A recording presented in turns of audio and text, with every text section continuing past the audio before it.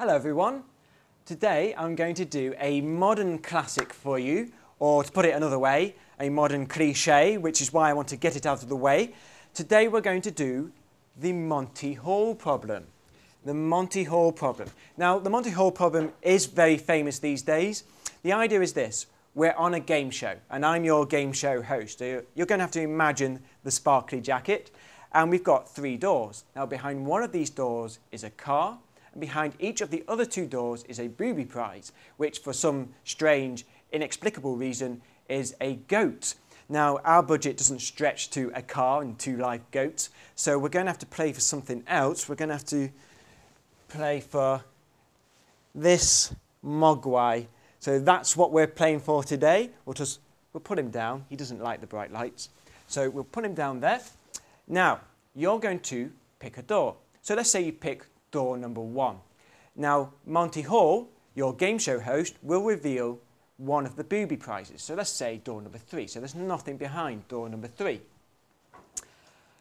Okay, now you've left with a choice of two doors. And that's what Monty Hall is going to do. He's going to say, do you want to stick with your original choice or do you want to switch? Now you might be thinking, well, there's only two doors. Uh, it's 50-50. It makes no difference if I stick or switch. In fact, you are twice as likely to win if you change your mind. Now this is very strange and it's counterintuitive. This problem was famously posed in a 1990 edition of Parade magazine and thousands of people wrote in saying it's 50-50. Even mathematicians wrote in saying it's 50-50. But it's just counterintuitive. A quick appeal to intuition might be to imagine 100 doors. So I've got 100 doors and I'm going to ask you to pick uh, a number between 1 and 100. Then I'm going to open 98 of those doors, leaving the door you picked and one other door. Now, how likely were you to pick the right door to begin with? Do you think it's more likely to be behind your door or the other door that I left unopened? Now, with three doors, it becomes a bit more counterintuitive. Here we go. There are three options. You could have the car behind the first door, and a goat behind the second door, a goat behind the third door.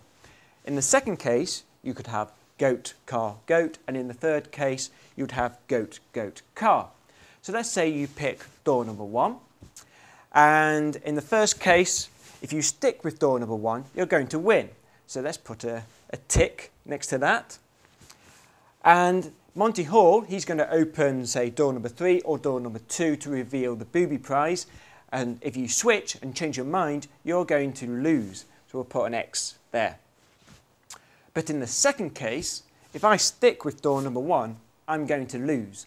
So let's put an X next to that. And Monty Hall, well, he has to open door number three. He's forced to open door number three, which leaves the car behind. So if you change your mind, you're going to win the car. So let's put a tick next to that. And in the third case, if you stick with door number one, you're going to lose. So we'll put an X there. And if you change your mind, you're going to win the car. So we'll put a tick there. And as you can see, if you stick with your original choice, you win one out of three times. But if you change your mind, you will win two out of three times. So the reason this fools you is because it's not genuinely random. If it was genuinely random, it would look something like this. Monty Hall would open, say, door number three without knowing what's behind it. So he might accidentally reveal the car. If he opens door number three and reveals a goat, that means we're not in that third case, so we can get rid of those. And that's what we're left. And as you can see, it becomes 50-50 if you change your mind or not. This is how the modern equivalent of deal or no deal would work.